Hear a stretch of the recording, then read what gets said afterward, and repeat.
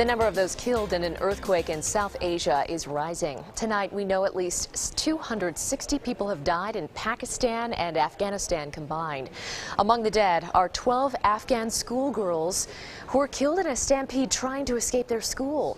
People in Afghanistan, India, Pakistan, and other countries felt, felt the 7.5 magnitude earthquake. The number of casualties is expected to rise. And only on KRDO News Channel 13, we spoke with a CSU Pueblo recruiter who lived in Pakistan near where the earthquake happened. His friends and family shared photos of the disaster. He says he hasn't lost any loved ones and his home in Pakistan is in danger of being lost to the earthquake.